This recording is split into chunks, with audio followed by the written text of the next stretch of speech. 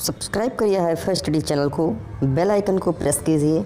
Latest video update सबसे पहले पाने के लिए।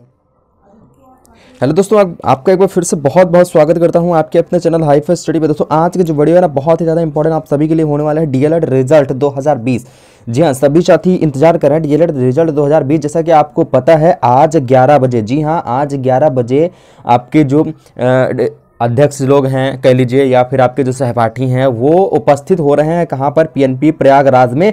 और मुख्य सचिव जो हैं, उनसे आज वार्ता होगी कि आखिरकार रिज़ल्ट आने में देरी क्यों हो रही है, ठीक है?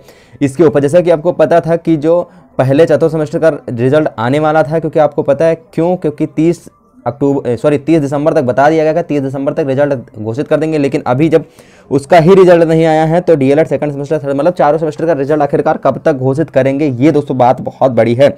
उसी के ऊपर आज वार्ता होने वाली है डीएलएड रिज़ल्ट के ऊपर और आज 11 बजे की बैठक है, हो सकता है इस वीडियो को जब आप देख रहे हो हो सकता है बैठक हो गई हो। और जैसे ही बैठक के परिणाम स्वरूप कोई भी अगर आदेश आता है तो मैं आपको वीडियो के माध्यम से ज़रूर से ज़रूर बताऊँगा। तब तक के लिए आप लोग बने रहिएगा चैनल पे।